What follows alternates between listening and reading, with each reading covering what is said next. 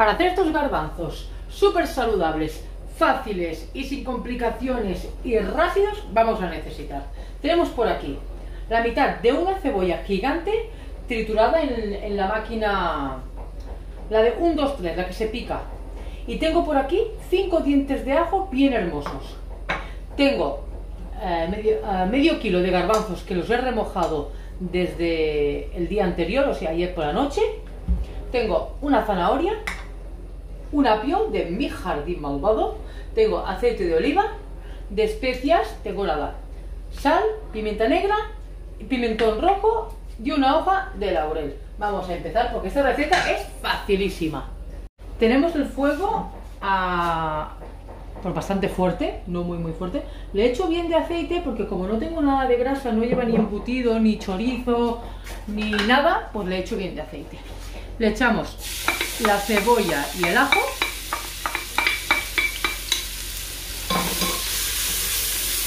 Y lo rehogamos bien.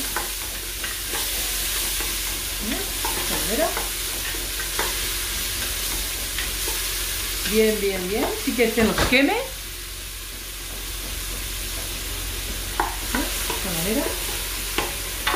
Mira, mi abuela, la, la yaya Laura, lo hacía exactamente igual, pero ella le ponía un hueso de jamón y le ponía tocino. Y la verdad que estaba muy bueno, ¿eh? muy, muy bueno. Pero bueno, de esta manera también está muy rico. Sabe diferente, por supuesto. Pero probad de esta manera, ya veréis qué fácil, ¿eh? Tengo el fuego, lo voy a poner a toda caña. La verdad que tengo tan, tan, tan, tan, tan, tan, tan buenos recuerdos. Pero reconozco que mi abuela era más de, de ir a las boutiques casulanas, o sea, a las tiendas eh, mm, casulanas, ¿cómo se diría casulanas? Las tiendas estas donde hacen comidas artesanas.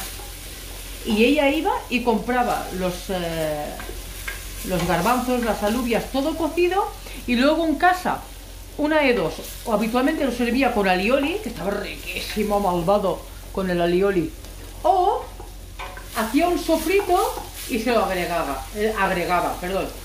Pero cuando tenía tiempo lo hacía de esta manera, agregándole, agregándole el tocino y el hueso del pernil. Mirad qué fácil, una vez tenemos esto bien rehogado, le echamos los sigrons, los, garbanzos, lo movemos bien, que no voy, no voy ni, a parar la cámara, ni lo fácil que es. ¿eh? Ahora le agregamos la hoja de laurel, el pimentón, lo movemos más. Haría falta caldo, ¿eh? caldo casero que tampoco tengo. Nunca tengo caldo casero yo. Tengo que, que hacer, pero no voy a usar la pastilla malvada, ¿eh? Hoy voy a intentar no usarla. Mirad qué fácil. Ah, os digo, estos eh, garbanzos son garbanzos eh, lechosillos, creo que se llaman. No son los gordos que tardan tanto en hacerse. Estos con 10 minutos de cocción con la olla cerrada es suficiente, ¿eh? no hace falta más.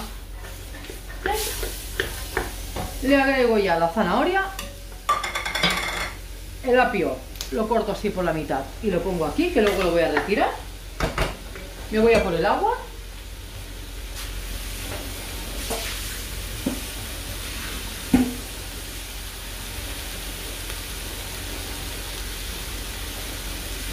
Le agregamos el agua. A ver cuánta agua le he hecho yo. Ya veréis. No le he hecho mucha, ¿eh? Porque esta olla express la verdad que no absorbe mucha agua.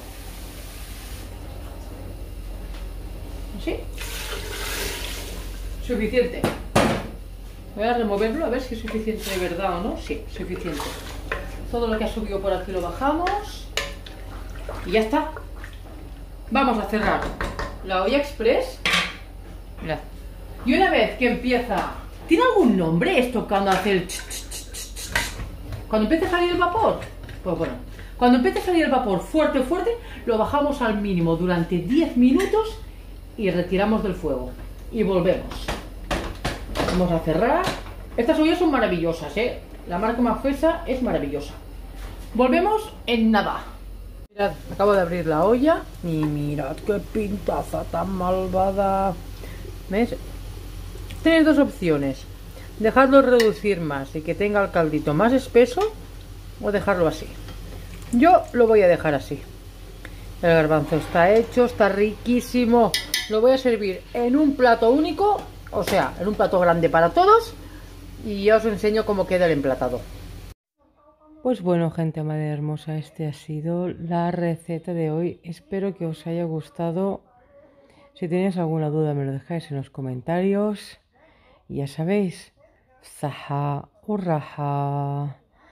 Salam alaikum.